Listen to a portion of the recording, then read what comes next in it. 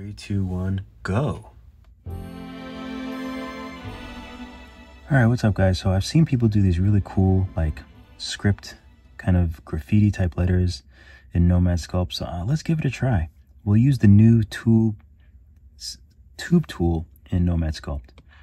So, and this is Nomad Sculpt 1.79. I actually need to make a, I need to make a title for my 1.79 video that I just recorded. So maybe we'll um, do that. Uh, okay, let me think. Let's get rid of the sphere. Let's use the tube. This is going to be, uh, call it tubey. So tube tool, and we'll use curve. All right, so I don't really, I'm not really a good, uh, let's see, how would I make an N? Let's, let's do it like this. Go down. And then like this. Is that a decent N?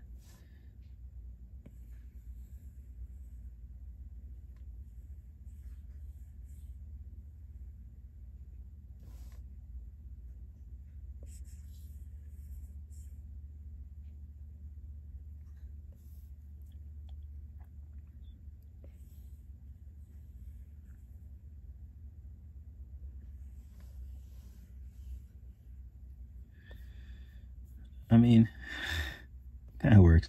I kind of wish it was all one thing though, right? It kind of needs to be all one thing. Let's try it again. I'm doing my best here, folks. I'm doing my best. So if I was going to make just one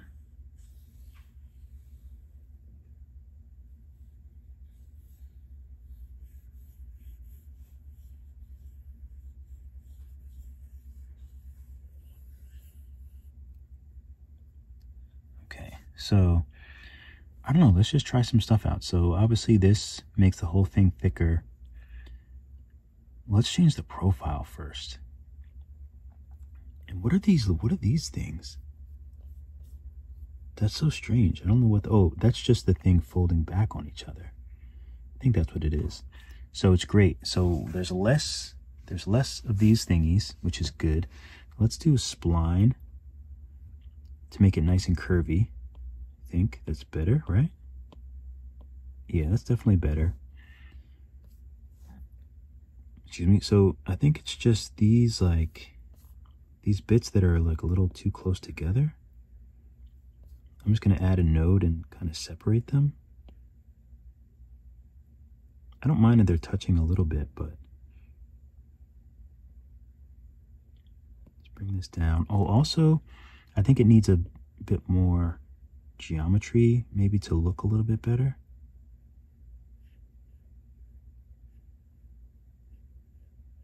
Maybe one. Tube tip. I don't think this, I don't think this helps. No, let's keep that at 30.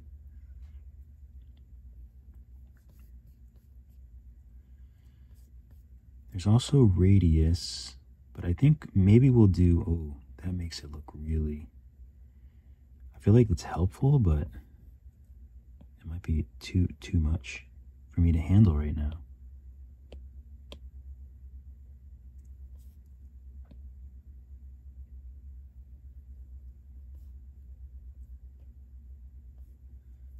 So we'll just make we'll make it a little bit bigger.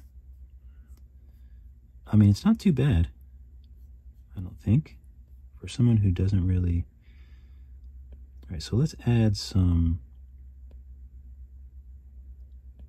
add some points and try to get rid of some of these green, these green things. It's also twisting too, I'm noticing.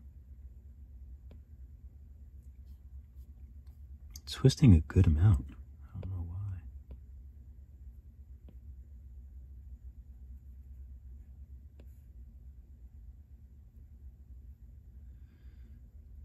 why. Um, maybe we do need radius. Maybe we can like make these middle bits a little bit smaller. But I can't even tell, like, which ones are connected to these.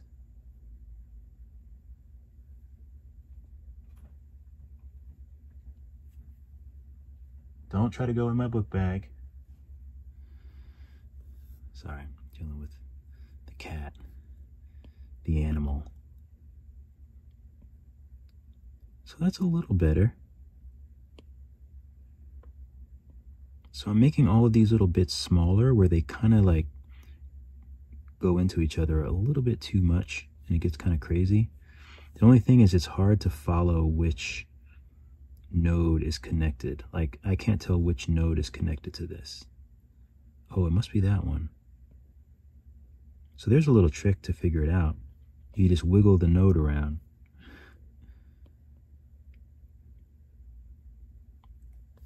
So then we have like at least some nice curves there. It's actually quite fun, actually. I do I do say actually a lot, I know. What can you do? I would like to make that bigger. I could get that break out of there. Okay, maybe we'll just leave it a little more normal.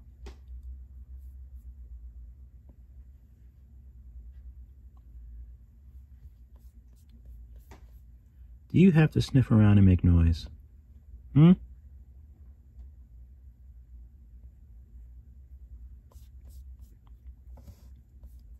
Now this would be nice to make bigger. So let's see if I can, let's see what we can do here. Let's wiggle this around. It would also be nice if we could move it. We can move it. Oh, oh, turned everything.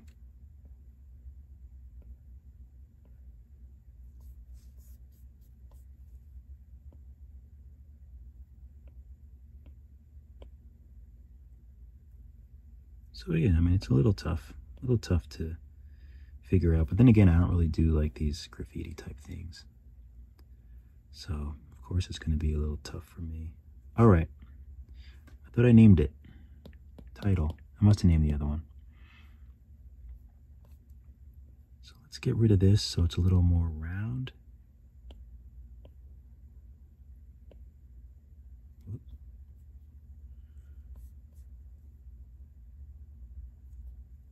Let's wiggle this around and try to find these nodes.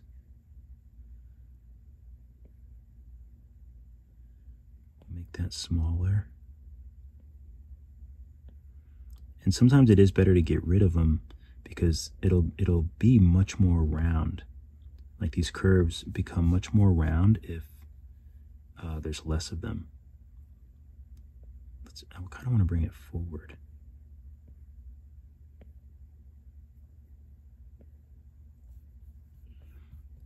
You know, I kind of want to put it like in front of this other curve. Oops. So I'm just trying to bring those nodes, just trying to make sure that I'm actually choosing the right nodes. Just trying to bring that forward a bit.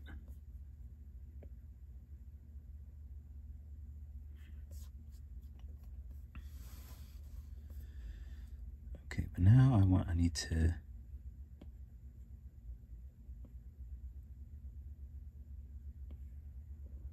Yeah, that's better. See, that's what I mean. It's like if you take some away, then sometimes it looks it looks a lot better.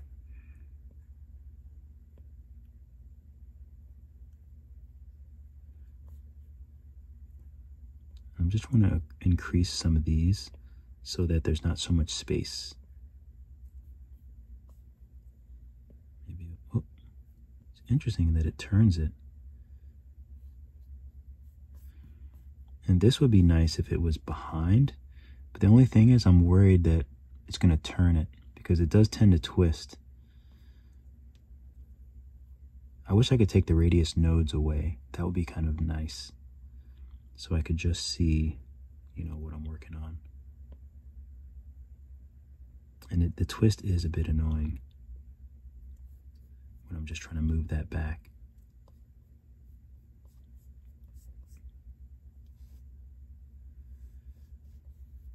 And maybe this too, maybe this would be nice if it was behind. I think it's this node.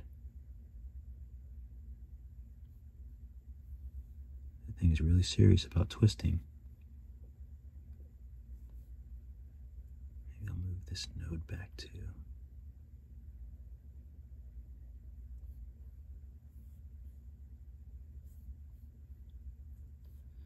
Okay, so kind of interesting. I think I kind of like it. Let's take some of these curves away. Let's just make this a little more curvy by removing some of the, and let's make this, which one is this?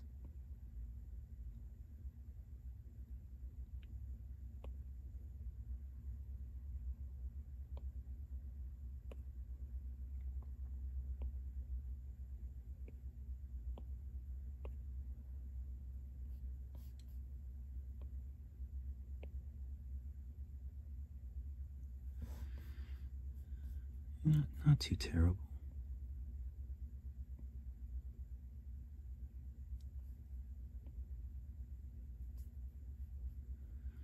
Okay. Let's validate. Oh, God. Um, this looks really, really odd. I wonder if I can use move and like move the parts around. Sometimes move doesn't, or is it drag? No, they're just moving them both. But anyway, so I mean, you have a word. Obviously, you can work it out better than I can. But, oh, let's, before I do that, let's check the twist. Because sometimes you can make it better. I'm not, what is it called? Ambidextrous? I'm not at all.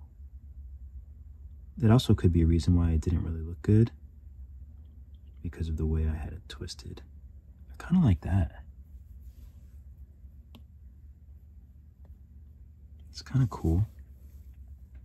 So let's save and let's um let's see what happens if we voxel remesh it. I actually don't know. They look like garbage. Okay, cool. Let's see if we voxel remesh it higher at like five, at like 600. Okay, it's better. See what happens if we smooth it out.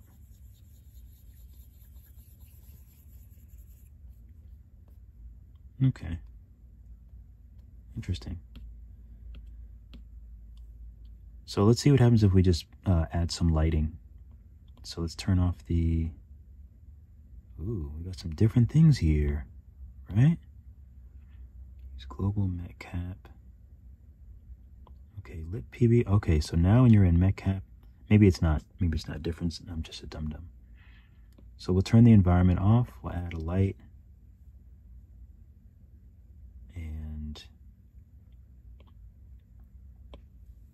Do soft shadows.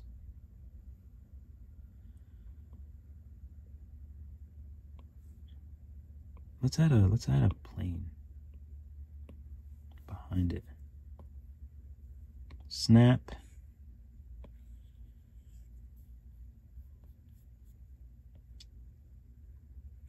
So add a plane right here.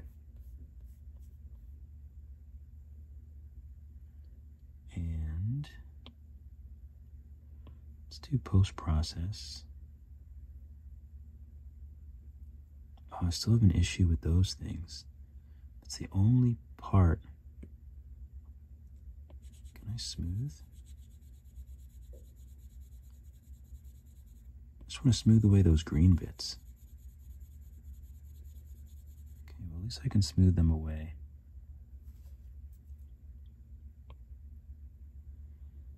And you know what else? Let's change this to subsurface. Let's change the color to something more interesting.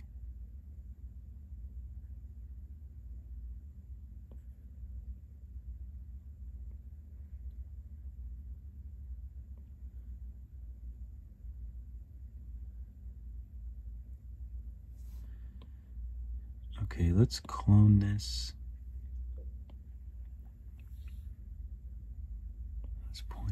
Here.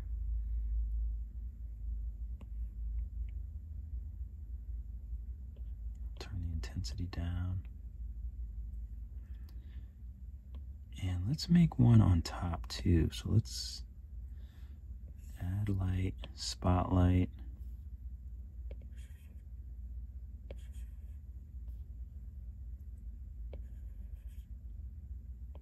Let's just point it down.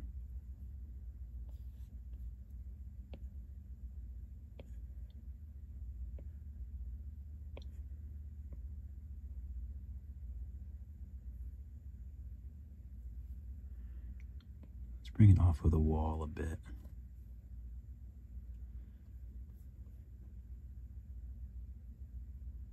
you know what? I think we can add. I think we can add the last one. I'm going to clone this one, and I'm going to put it pointing to the side.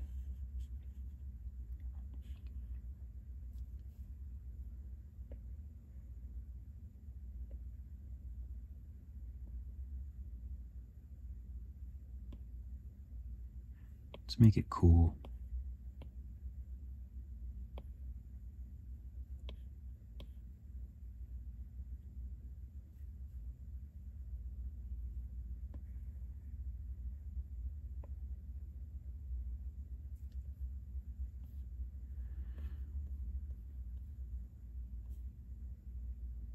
Can't really read it, but I mean, you get the idea. I actually think it's, I think it's all right. Being that I don't really do this type of art at all, but got a little grain, got a little dithering, um, but I still think it's pretty cool. You can change this color to something else.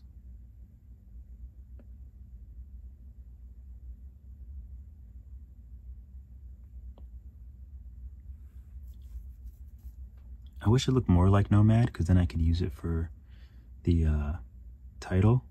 But maybe I'll just use it for this title. Oh, I really want to get rid of this. What am I validating? The plane? This is the only thing that kind of bugs me.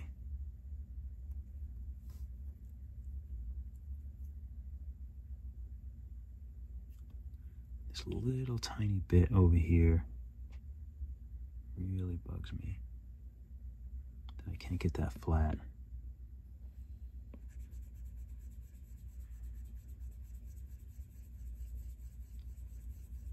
Okay, I think that's a little bit better. This kind of bugs me as well. That little curve in there.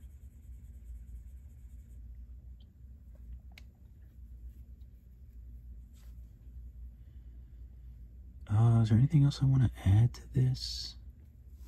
Let's try something crazy let's clone this tube and let's save our view. So we're add view. Okay, so we have our tube.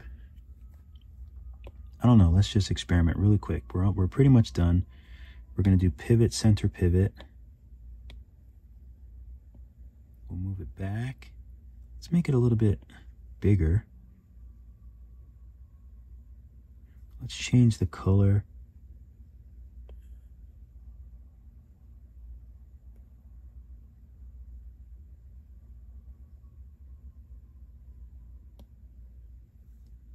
And oh, let's see how it looks.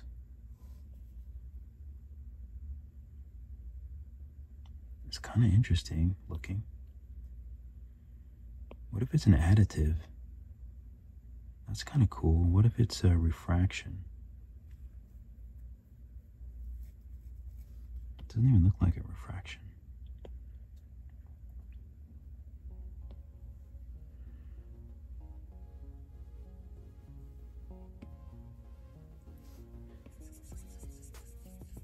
Let's uh let's decimate it so I can smooth it down.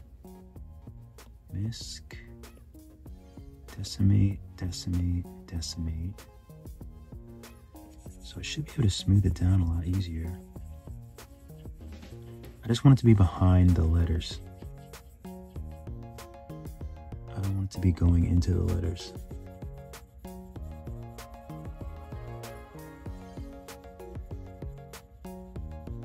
I guess I could use drag too.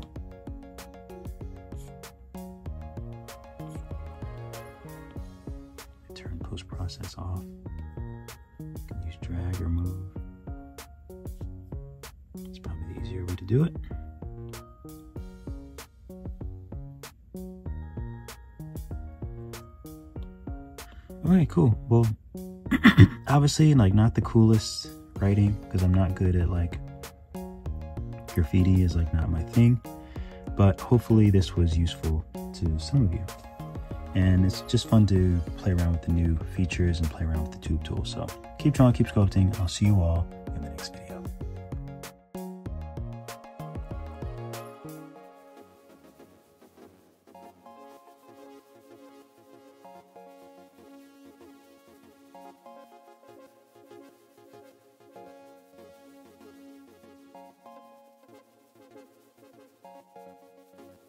So what if I told you that you could create thousands of really amazing designs right in Procreate?